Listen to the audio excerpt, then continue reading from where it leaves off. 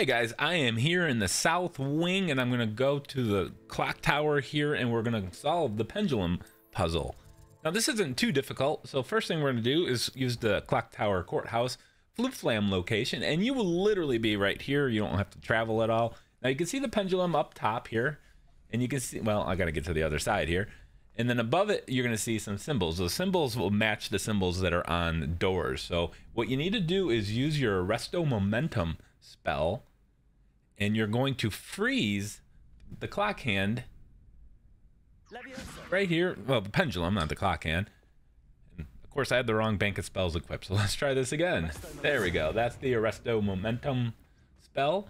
Now, with that frozen in place, we can go in through this door. You can just see the gates just opened up. And inside there is a collection chest. Important. All right, now from this location, we're going to go upstairs. Now for this, you're going to need to use your lockpicking spell, level one. You will acquire lockpicking after a couple dozen story missions or so.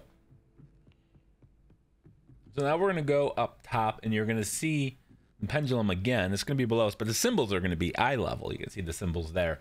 So what we did is hit the first one the first time. Now we're going to hit the second one here. Freeze it in place and go to the left corner. We're to go inside of here. We're to use our illusion spell. There is one of those eyeball chests. Now we're to leave the room and go up the set of stairs that are just next to us. And we are to hit the, well, I'm to let you guys guess. Which symbol do you think it is? That's right, the third symbol. Makes it easy to remember when it's one, two, three, four. All right, so for this, we're going to do the same thing. We're going to freeze it on the third one. You saw the door location is going to be down to our right. And then we're going to go in here, and there's two collection chests. And, yeah, that's right. I just went right through the door. It is not a bug. It's magic.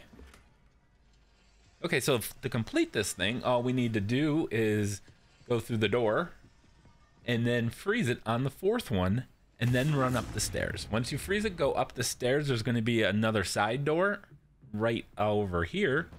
You don't want to go up too high. Go through two doors and then you'll be in the final room. Complete the challenge. I want to thank you guys for watching. Hit that like button and, of course, subscribe.